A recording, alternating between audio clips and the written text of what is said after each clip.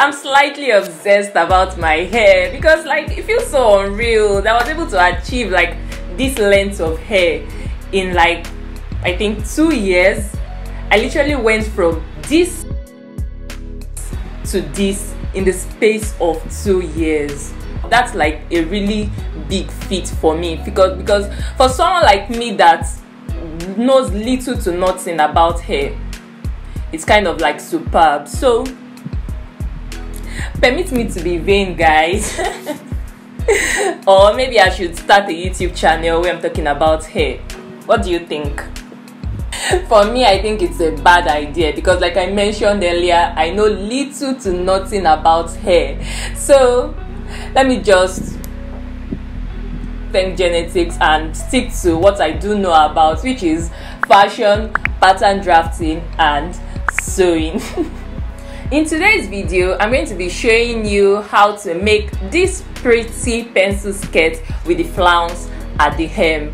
And um, one point to note, guys, is that you can make this skirt as long as you want. So you don't really have to like go with the length like with the um, length I'm using for mine. You can make it short or if it's if you want it short, you, that's fine. And if you want it long, that's also fine. So the amount of fabric you'll be needing for this skirt um, is going to slightly is going to depend fully on your preference whether it's long whether you want the skirt to be long or whether you want it to be short. But for me i literally use like one yard of fabric for the skirt and another yard of fabric for the flounce.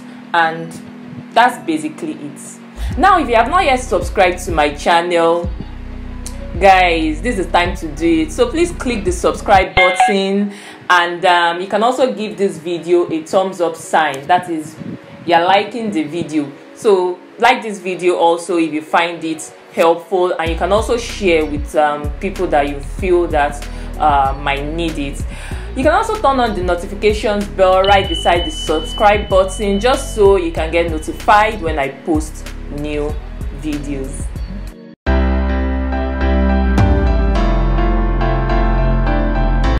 so first things first guys you are going to need um, your basic skirt pattern like this. So if you don't know how to draft one check out my video on how to sew a pencil skirt with bow detail. The video should be right on top of your screen right now. But if it's not there please check in the description box for the video link. Now um, the next thing is to decide how long you want your skirt to be. So for me i have um 18.5 inches uh, here. So if i add 2.5 inches to that 18.5 inches so the 2.5 inches will be for the waistband that i'm going to be adding to the skirt later. So i'm going to add 2.5 inches to the 18.5 inches i have here and that's going to give me 21 inches. So 21 inches is the is going to be the full length that is total length of my skirt. So once you decide how long you want your skirt to be from here then you come right to the hem here. Come right to the hem of your skirt here and then you go in from between one to one and a half inches. So you go in like this. Measure in one inch one one and a quarter or one and a half whichever one you want. So you measure that in to make your skirt pencil so for me i'm going to use like one and a quarter inches. So i'm just going to mark that here. Then i'm going to connect this i'm going to connect it back to my hip level here. Then you can use your french curve to like um, true this part. Truing just means making blending it so you don't have a sharp end here.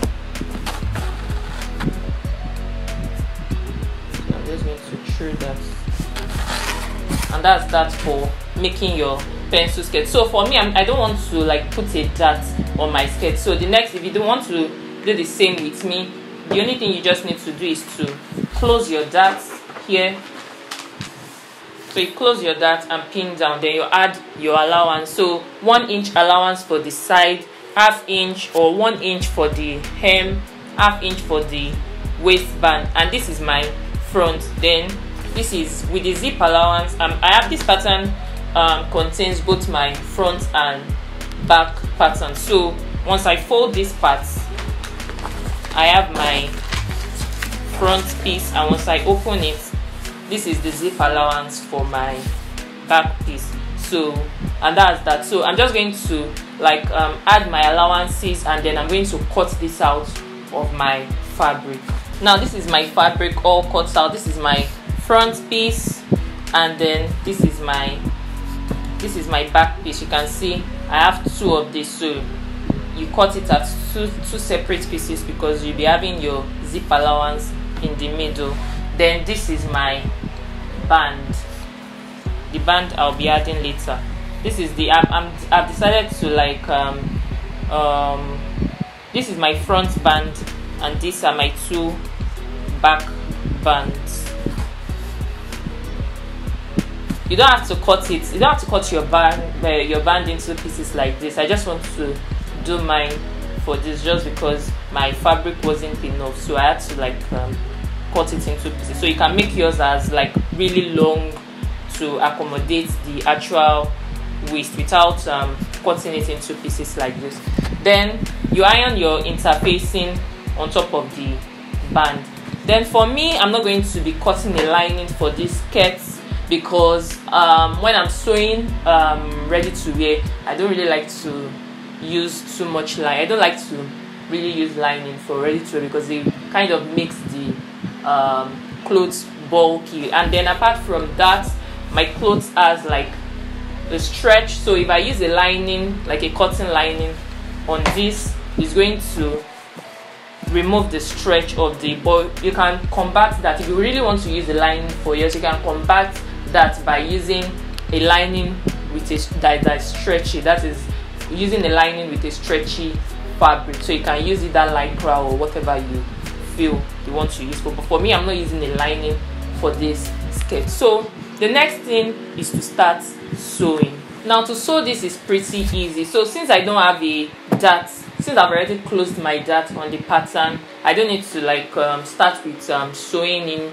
my dart because i've already removed that. But if you have that in your own the first step will be to sew your dart first. So then after that the next thing is to place both your front piece and back piece right sides together. But before normally i would have asked that you first join your zip allowance your back zip, zip allowance together at the middle. But there's a reason why um i'm not doing that yet. But so let's go let's move on with this one so we'll you place both your front and um, back pieces right sides together and then you sew down by one inch here and then one inch also at the side so i'm just going to be doing that now and then I would um, show you what that looks like.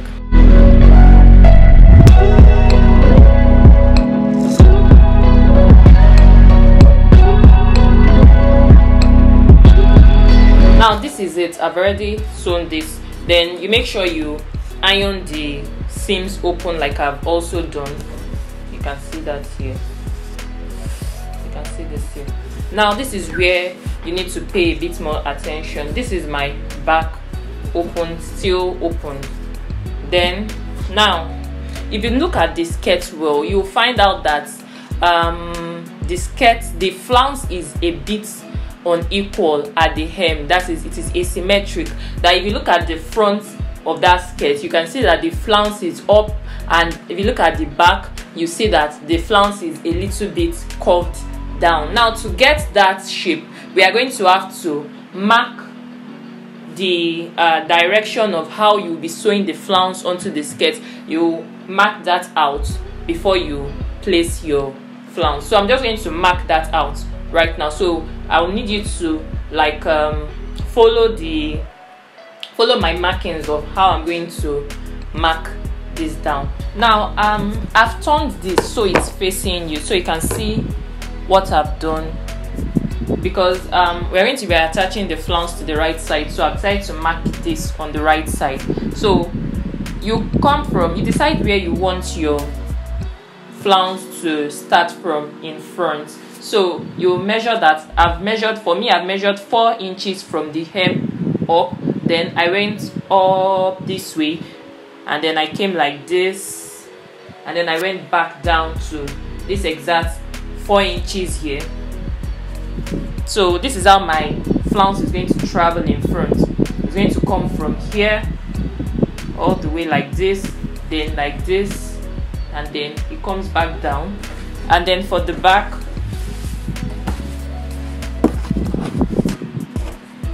for the back this is what I want it to look like at the back. So at this exact point that from the front here you can see this point. So from that point I am going to come up a bit like this.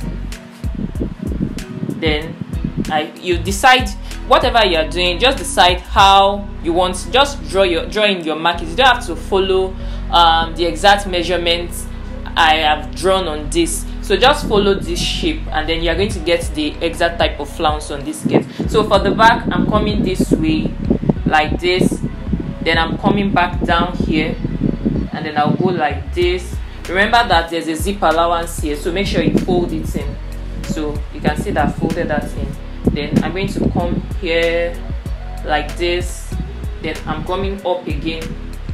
And then it goes down and that's the end. So I hope you can understand it so this is the hem of my skirt my waist is right here. So this is where this is what is going to look like at the back. It's going to come in like a zigzag kind of way like this. You can see this. Then in front in front it's just going to have like this kind of shape. You can see that. So the next thing for you to do is to measure the length of this line. So i'm going to measure mine. So the whole length of all of this from the front to the back for me is 55 inches. So that measurement you write that down somewhere and then you use that to draft your circle uh, to draft a circle pattern. So for the flounce you can either use um, a flounce pattern or you can use a circle pattern. If you don't know how to draft either of this please uh, check out my video tutorial on how to draft a, a three-tiered circle skirt and also how to draft a spiral pattern for the two different um, designs. So whichever one you feel comfortable with you can use either of them so the video should be right on top of your screen and if it's not please check it out in the description box. So for me i drafted a circle pattern for myself and this is my uh, circle pattern. You can see that. So i used my 55 inches i used it to draft this um, circle uh, pattern. So the length of my circle is like 11 inches you can make it longer if you want you can make it shorter if you want but for me it's um 11 inches 11 inches all the way round. Now i'm going to be attaching this to the um, line i drew on top of my skirts. So you can attach this with pins before you commit to sewing it. So i'm just going to do that. You place that right side together like this and then I'm going to pin all of that down now.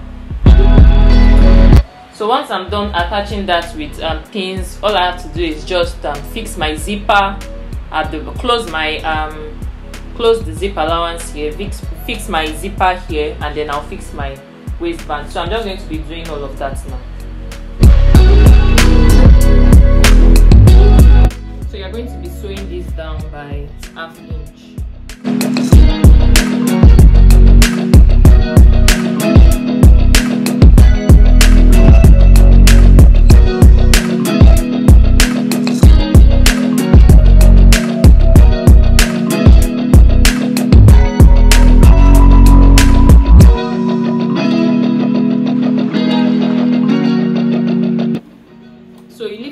somewhere here like around seven inches for the zipper. So i'm just going to measure seven inches down. So at this point i'm going to be measuring my my uh 3 cm for the allowance.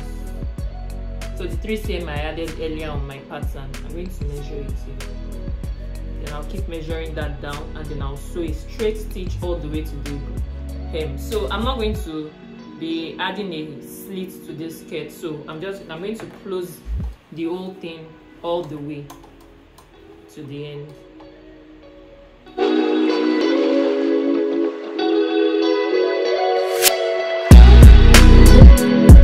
Now to attach the front band i'm going to open the side up a little just like this just so that i can attach my front band. You remember my band is cut into pieces. So i'm going to I already ironed my interfacing on this. So i'm going to place this like this. So i'll place this the right side of this right side will face the wrong side of my front fabric. And then i'll sew down by half an inch all the way to the end. So i'm just going to do that now.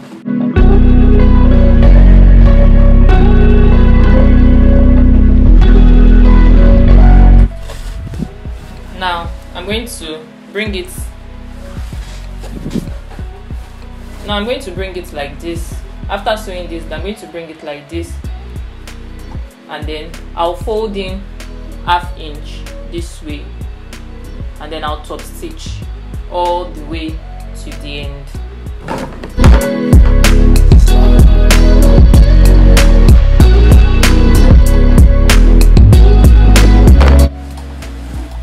And this is what you're going to have a straight. And this is it at the back closed in at the back. So i'm going to do the same also for the back piece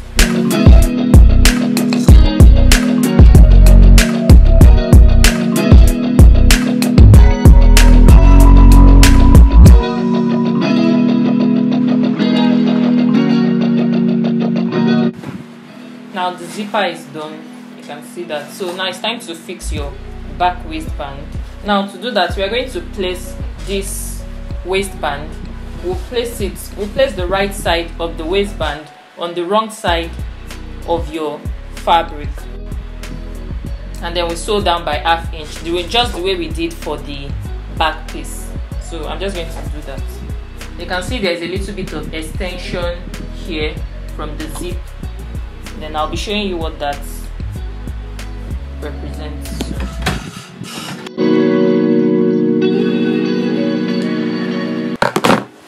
Now this little extension here you're going to fold your waistband right sides together here just like this.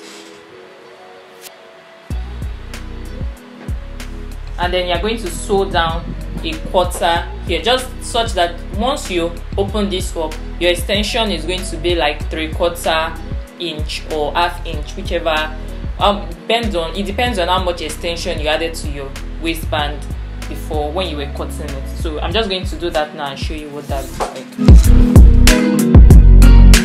Then you turn it in. You turn it in like this. And then you top stitch it just like we did for the front piece. So you fold in by half inch. You fold it by half inch and then you start top stitching at the edge here all the way to the end. So once you finish top stitching you do the same also for the other side and then you close your side seams. That is the part we opened earlier. So you close it together at the side and that's the end for this tutorial. So guys this is the final look of my skirts. This is the band the flounce and then actually initially planned to add like a few pleats in the middle here just to give it like some kind of ruffle around the middle side here but I didn't have enough fabric for that so. But then if you are making yours you can always add pleats to give make it more prettier and all of that. And like I mentioned earlier your skirt can be longer than this. You can make it longer than this or you can make it as short as this. It, it depends on you. And you can you can see my sewing stitch like right here. And then that's all. And this is the back of my skirt and the flounce that's basically all. Don't forget to subscribe to my channel guys and give this video a thumbs up sign while you're there. You can also turn on the notifications bell right beside the subscribe button just so you can get notified when i post new videos